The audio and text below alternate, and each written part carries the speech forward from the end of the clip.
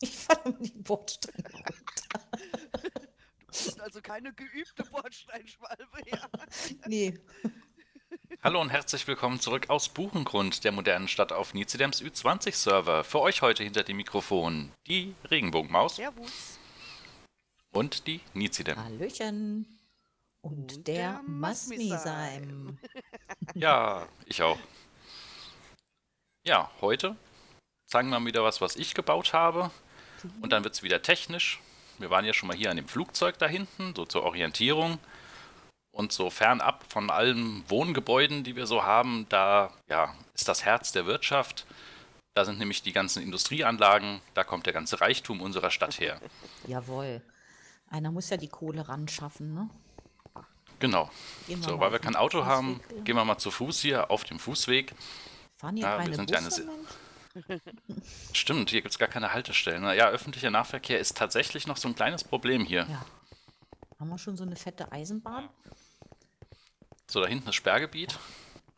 Nur für Berechtigte. Da wohnt die High Society. Da Ja. darf nicht jeder. Nee, wir schon so. sowieso nicht. Ne? Wie normallos. So was. Ja, dann kommen wir hier über so einen kleinen Hügel. Und dann liegen vor uns die ganzen ja, Produktionsstätten für diverse Dinge. Vor allen Dingen die pinkfarbene da hinten, ne? Produktionsstelle. Wird auch produziert, Ja, da sollten- oder nicht? Nee, so, nee sollte man eigentlich, glaube ich, nicht. Aber kommen wir vielleicht später noch drauf. Ja, vor uns hier ein wunderschöner Kasten aus Orange und Gelb. Ich falle um die Bordsteine runter. Das sind diese Bordsteinschwalben. Genau, Nee. die fallen vom Bordstein runter. Eine gefallen, ein gefallener Bordsteinengel. So. Fällt vor der, ja, was könnte es sein? Eine Kürbisfarm. Sehr nice. Jetzt ist ja auch bald wieder ähm, Halloween. Halloween. Sehr passend. Mein, Ich hänge meine erste So. Kürbissuppe habe ich auch schon gekocht. Ah, Also sehr passend. Ja, hoffentlich mit äh, schön industriell geerntetem Kürbis. Nein, nein. Ja, man sieht ihn hier äh, wachsen. Er ist auch schon reif, dann könnte man ihn sogar mal ernten. Ich hoffe, ich mache das jetzt auch richtig. Als wir das letzte Mal hier einen Gast hatten, habe ich meine eigene Maschine nicht verstanden. Das war ein bisschen peinlich. Hui. Oh, ich habe einen gefangen. Yeah, hab ich gewonnen. Du bist aber gierig. Ja, So, die werden dann da reingespült. noch einen eingesteckt. ja. Also, Jetzt habe ich sogar zehn. So sie denn nicht von irgendwelchen Leuten hier aufgefangen werden. Oh, die wollen nicht rein. naja, wenn man so eine Fabrik besucht, da gibt es ja immer auch was für die. Stimmt, so ein kleines Giveaway. Genau. Ja, und theoretisch landen die dann jetzt hier drin. Da sind auch 40 Stück drin. Ich schmeiß meine noch dazu. Das ist nett. Hier nicht als Dann schmeißen wir uns auch mal, es wird nämlich dunkel. Oh, Ins Bett schmeißen. Da müssen wir Ja, schmeißen. die Türen zumachen. Das zieht Warum? ja sonst. Ja, es ist jetzt auch schon richtig kalt Ja. geworden. immer noch eiskalte Pfoten, wie gestern Abend auch schon.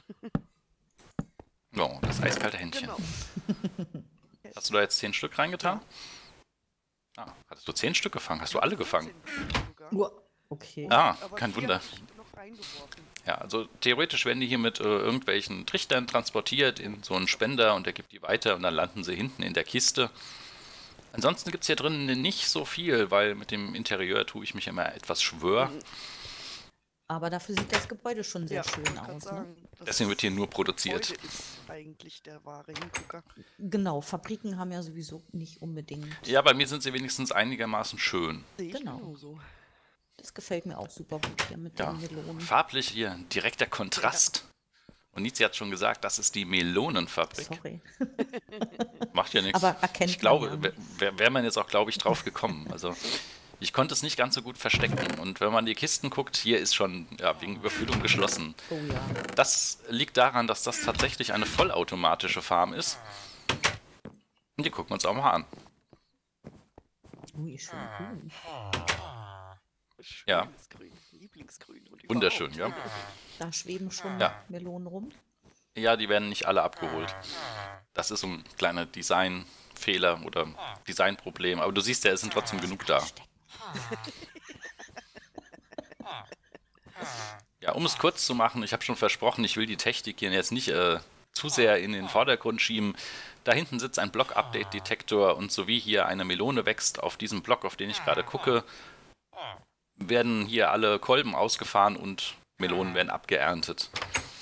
Das können wir uns gerne mal angucken. Wird aber ein bisschen schwierig, denn die Anlage ist momentan aufgrund eines Streiks äh, so ein bisschen besetzt hier. Doch ein bisschen laut, ne? Kann das sein? Denn da unten, da hängt nämlich Clara Schnaps rum. Die alte Schnapsdrossel und die hält mir immer hier die Bahn auf. Huch. Huch.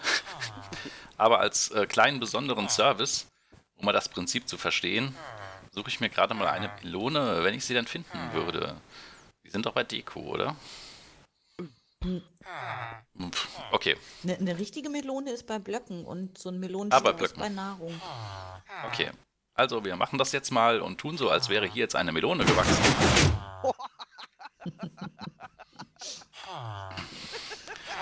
Was dann dazu führt, dass hier theoretisch, hier unten, wo ich gerade bin, eine Bahn rumfährt und alles einsammelt. Aber die fährt momentan nicht, weil die Dorfbewohner sich hier in den Weg geschmissen haben und haben die aufgehalten. Was ist hier Freiheit für die Melonen? Ich glaube, das sind so Die streiken, Frauenaktivisten. ja, die de demonstrieren irgendwie bestimmt. Ja, haben noch ihre BHs verbrannt und so, mit denen will ich nichts zu tun haben. Ja, wer schon klarer Schnaps heißt. Ja, eben alte Schnapsdrosseln und all, all sowas hier. Ja. So, dann gucken wir mal zur Rechten. Das ist jetzt keine produzierende Stätte. Das ist ja hier unser Stromerzeuger. Ach, und Melanie ist gar nicht dabei. Die hatte doch nach so einem Kraftwerk gefragt, ne? In der einen Aufnahme. Ja, was wir tatsächlich haben. Mhm. Hier ist es. Das hier ist unser Pseudo-Biomasse-Kraftwerk. Natürlich haben wir hier keine Mods auf dem Server, das heißt, wir haben auch keine Maschinen, sondern wir tun nur so, als ob. Nicht so wie in anderen Welten, in denen wir uns ja auch bewegen. Wobei, da wäre es auch, glaube ich, nicht so groß. Da ist was dran. Ja, hier ist die Zufahrt, hier kommen dann die LKWs an, die etwas äh, transportieren. Jetzt muss ich aber tro- trotzdem erstmal reingucken, wie denn der Status ist. Ich weiß es nämlich selbst nicht, ich war hier schon länger nicht mehr. Deswegen machen wir das jetzt mal etwas. Bin ich berechtigt oder nicht? Ah, das musst du wissen. Naja, mein Mit dem Chef, Server.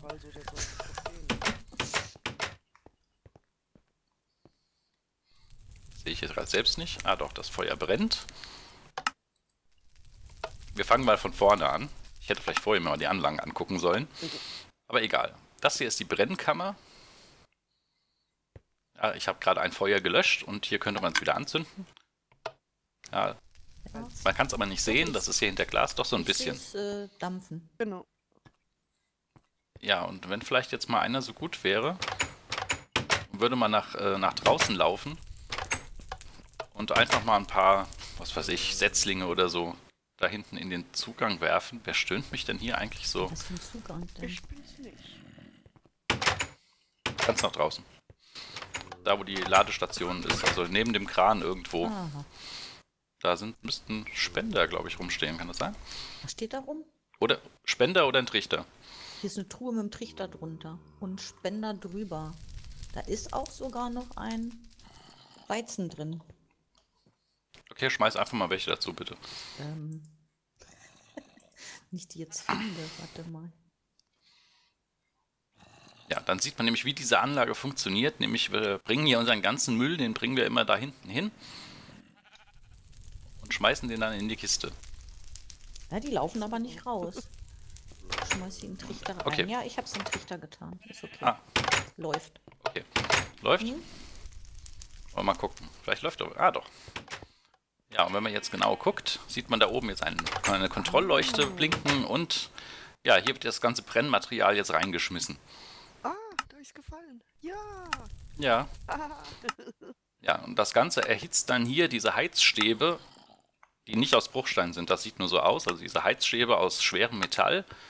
Ja, die wiederum hier das Wasser verdampfen lassen und dann haben wir hier so ein, ja, kleines Wärmekraftwerk hier mit den Dampfturbinen und da hört ihr auch, wie sie laufen. Sie röcheln sogar richtig. Könnte auch der Zombie sein, der sich hier irgendwo in einem Hohlraum versteckt hat. Man weiß es nicht so genau. Ja, jedenfalls so erzeugen wir hier unseren Pseudostrom, mit dem wir unsere Pseudo-Anlagen betreiben und das funktioniert auch sehr gut, ist auch sehr sauber, umweltfreundlich und alles. Und man wird vor allen Dingen die Weizenkörnchen endlich los. Genau. Ja, hier ist der Kontrollraum für die ja, Kontrolleure, die dann hier auf den Monitoren das überwachen, dass auch alles richtig läuft. Scheinen momentan ausgeschaltet zu sein, die Monitore. Oh gut, es ist ja wie immer hier, es ist wieder keine Sau da. Ne? Ja. Außer Demonstranten, die mir meine, meine Maschinen lahmlegen. Ja, und hier oben ist noch ein kleiner Aufenthaltsbereich Genau, den haben wir ja noch gar nicht Mhm. gezeigt. für die Leute, die nicht da sind. Da könnten sie sich was zu essen holen. Aber gut, Ja, wer nicht will, der hat schon. wer nicht will, ja. Ist aber auch ein bisschen gefährlich, man Mhm. kann hier nämlich runterstürzen. Tschung. Deswegen muss man immer einen Helm tragen bei solchen Ja. Anlagen. Der hilft auch an den Füßen. Ja. Da musst du halt auf dem Kopf landen. Dann bist du in dem Helm geschützt.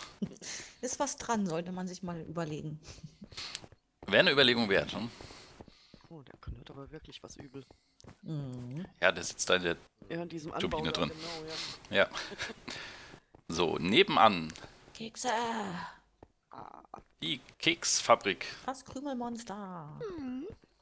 Mhm. Das ist natürlich nicht das Krümelmonster. Nein, Das ist das-. Keks. Das Keksgesicht. Das genau. Keksgesicht. Wir wollen ja hier. Stell dir vor, wenn die, die Verantwortlichen das gucken. und Sagen, oh, das ist aber hier Warum? kopiert. Dann kriegen wir Kohle für Werbung. Was willst du eigentlich? Ach so. Noch mehr Kohle, als wir ohnehin schon kriegen von den Naja. ganzen Sponsoren. Ich weiß gar nicht, wohin damit. Ja. Hier ist die Anlieferung für die ganzen Waren. Man kann auch einfach durchgehen. Praktisch. eigentlich noch einen Gabelstapler davor bauen, ne? Wenn du einen bauen kannst, tut dir keinen Zwang an. Könnt's ja mal versuchen. Du könntest gerne mal versuchen. Ja, hier sind so Warenkisten eben, die sind dann zum Abtransport bereit. Klassische Kreativmoduskisten, sagt man so, Mhm. Sind nämlich leer. So, das ist eine Anlage, die leider nicht funktioniert, muss ich dazu sagen. Oh, gerade die Keksanlage. Ja, das liegt daran, weil hier wieder so ein Arbeiter ein bisschen, bisschen garstig Aber ist. die hat mal funktioniert, ne? Sie hat mal funktioniert, ja. Also theoretisch sind hier auch Beschriftungen dran, Licht an, Sperre aktiv, Licht aus. Bitte vor der Ernte den Sachbearbeiter wegsperren, äh, was dieser ganze Mist eigentlich soll. Das Schild Wenn hab ich mal meinen- vergessen.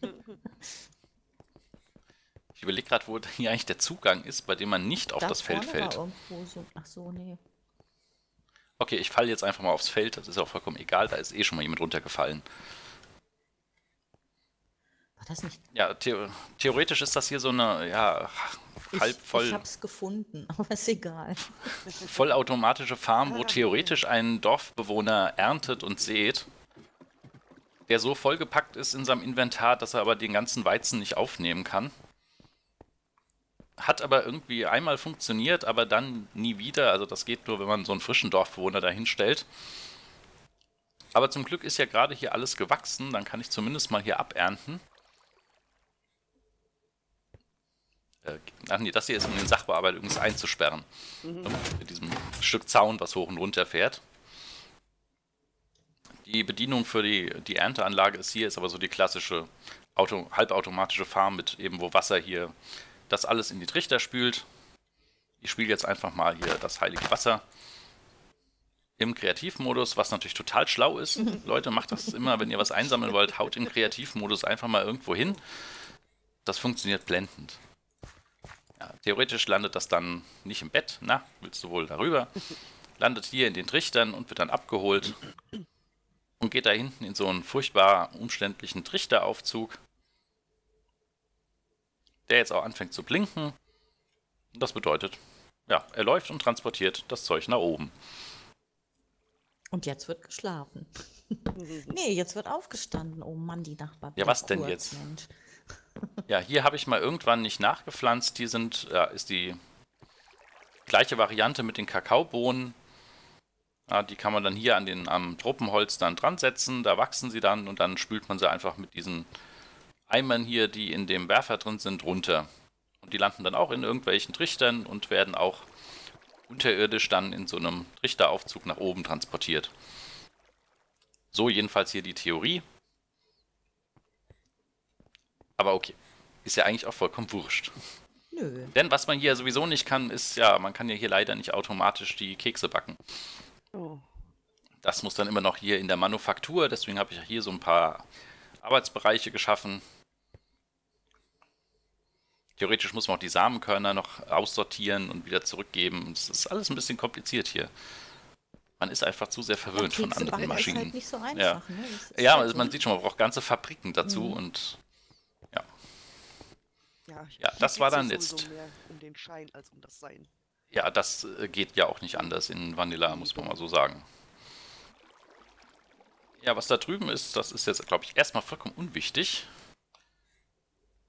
Äh, gucken mal vorsichtig hier so rüber, fliegen mal kurz zum nächsten Gebäude und ja, wenn ich noch einen Blick auf die Uhr werfe, schlage ich vor, dass wir an dieser Stelle einfach mal einen harten Cut machen, wie wir. Profi-YouTuber das so sagen.